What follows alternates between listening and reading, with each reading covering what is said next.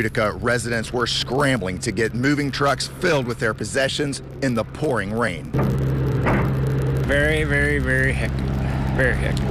We didn't think it was going to get up this high. That's how Mark Terry describes the race to empty homes and apartments in Utica after the flood crest was revised upward. My neighbor across the street said, Y'all need to get going right now. You need to get your stuff packed and you need to get out of here. For these residents, mere inches of water can make a difference. Yeah, I was calling in everybody. I left. I went and got a storage this morning. Um, we went rode around and tried to find boxes and just whatever we could find to start throwing stuff in. And now we're trying to hurry up and get out of here as quick as we can because the road, it's already coming in on the road now. It wasn't even on the road this morning. Utica may be facing the worst odds, but low-lying areas of Jeffersonville are also bracing for water. We manufacture vibratory equipment uh, down there on Riverside next to the Second Street Bridge, and um, you know, uh, really, these a lot of these guys don't work on Fridays anyway.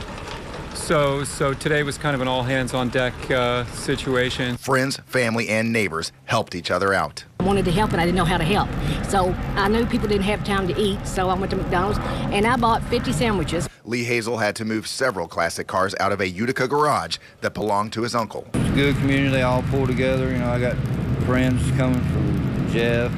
It's already up here helping, and they just a good community, and everybody pull together. We we get through it. Some houses like this one are already underwater, and the crest is yet to come.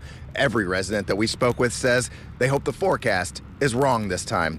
In Utica, Mark Vanderoff, WLKY News.